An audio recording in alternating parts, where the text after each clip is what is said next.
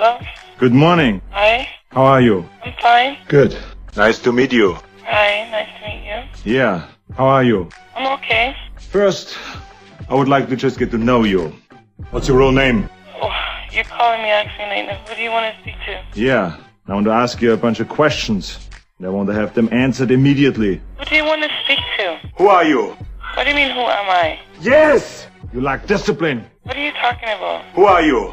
Who do you want to speak to? You. Well, I, got, I guess you got the wrong number. You know you're lying. Lying about what? Excuse me, I have a few more questions if you don't mind. What question? You didn't ask me no question anyways. Who is your daddy and what does he do? What do you mean, who's my daddy and what you do? Yes. My daddy is God, and he'll fuck you up. Stop it! Who is your daddy? That's who my daddy is. Who are you? Are you drunk? Stop it! So don't give me that crap. You must be drunk. Stop whining. Are you drunk?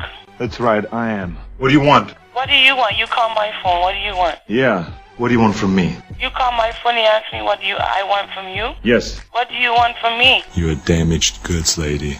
Yeah, damaged good man. You need to go fuck yourself. You son of a bitch. Yeah, that's what you are. You're a bitch because you're a faggot. Shut up! Shut up!